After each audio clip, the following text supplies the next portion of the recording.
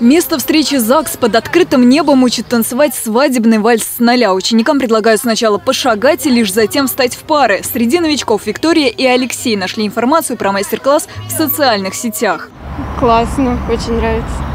Ну, довольно-таки доступно объясняют, и так все уютненько, так все весело и приятно довольно-таки. Вечер свадебного вальса собрал 15 пар. Мы сегодня вообще шли мимо. Как, ну, мы должны вот расписаться, шли мимо, нас позвали. Раз страшно даже танцевать, не получается. Может, даже ноги дрожат от страха. Вот. Ну, как бы прикольно, классно. Так что учат. Тем более, если бесплатно показывают, обучают. Хорошо, что вот такое вообще есть. Да.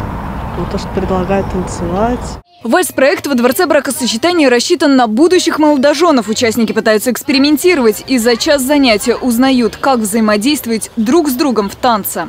В прошлом году в этом проекте приняло участие более 300 пар, которые подали заявление в отдел ЗАГС и пришли к нам, соединив в одном ритме, в одном танце, поставили свои первые движения и э, подготовили тот маленький элемент праздника своей торжественной регистрации брака.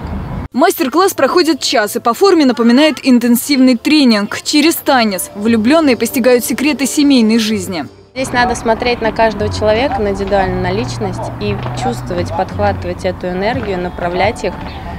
И самое главное, чтобы все это было спокойно, с улыбкой, дать в этот момент дамам понять, что партнер все-таки должен руководить.